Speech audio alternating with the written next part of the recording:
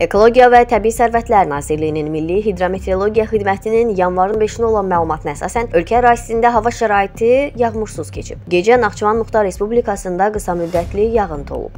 Düşən yağıntının miqdarı Ordubadda 5, Şahbuz, Naxçıvanda 1 mm-dək olub. Zərdab, Biləsuvar, Gəncə, Şamaxı, Yevlax və Qobustanda duman müşahidə olunub. Şimal-qərb küləyi arabir Bakı və Abşeron yarımadasında güclənib. Neft daşları stansiyasının məlumatına görə dalğanın hündürlüyü 2,7 metrə çatıb. Havanın maksimal temperaturu Bakı və Abşeron yarımadasında 17 dərəcəyədək isti, Naxçıvan Muxtar Respublikasında 10 dərəcəyədək isti, Aran rayonlarında 16 dərəcə, dağlıq rayonlarda isə 13 dərəcəyədək isti olub. Bakı və Abşeron yarımadasında yanvarın 6-sında şimal-qərb küləyinin gecə və səhər yarımadanın bəzi yerlərində güclənəcəyi, günün ikinci yarısında isə zəifləyəcəyi bildirilir. Yanvarın 5-i qərb rayonlarından başlayaraq 6-sı səhərədək arabir yağıntılı olacağı, dağlıq və dağətəyi rayonlarda qar yağacağı gözlənilir. Ayrı-ayrı yerlərdə intensiv olacağı ehtimalı var.